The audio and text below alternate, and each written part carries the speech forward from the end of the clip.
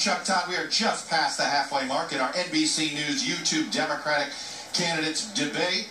Boy, this is one that has actually lived up to the billing. We've seen some sharp exchanges on guns, healthcare, and Wall Street. To debate, you could argue that has been largely focused on all things Bernie Sanders. He was on the defensive early, Hillary Clinton getting, I think, some control on the gun issue. But on health care and on Wall Street reform, it was Hillary Clinton on the defensive and was a very aggressive Bernie Sanders. One thing of note here, Bernie Sanders very much being the sort of revolutionary candidate, major change. And you've heard a lot of Hillary Clinton saying things like, she wants to build on the things that President Obama did, wrapping herself in President Obama. Let's go back downstairs and check in with our moderators, Lester and Andrea. So, what's coming up next, guys?